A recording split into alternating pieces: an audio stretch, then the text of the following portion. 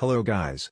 Today I will show you how to fix MSI Afterburner so it shows CPU statistics for Ryzen 6000 gaming laptops.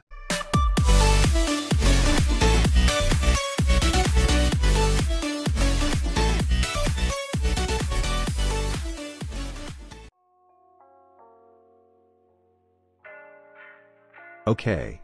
So the first thing you want to do is to download a free program called HW Info 64. Links will be in the description down below.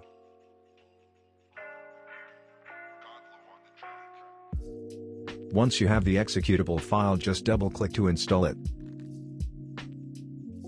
If it's done installing, open Hardware Info 64. Then select Settings. In the bottom left you will find an option called Shared Memory Support.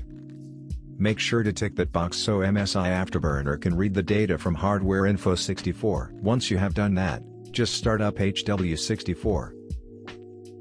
Then start up MSI Afterburner. Go to the settings, then monitoring.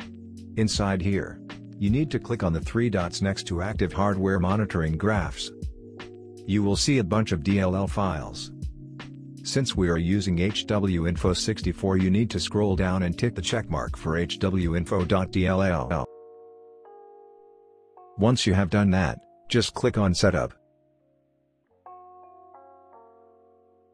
If you don't see anything here this means that you have not opened the Sensors tab of Hardware Info, so make sure to open that as well.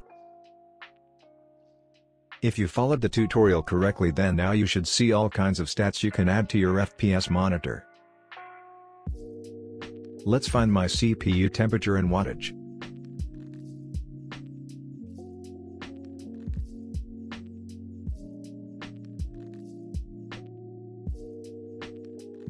If you don't know what something is, just use HW info and hover your mouse over that setting and it will explain what it is.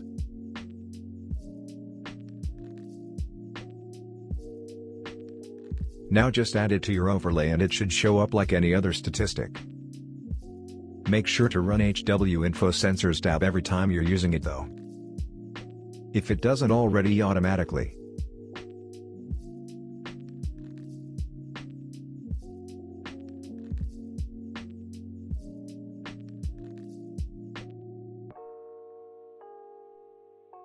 That was all for this tutorial. Do you want to see more videos like this? Then like, share, comment, and subscribe.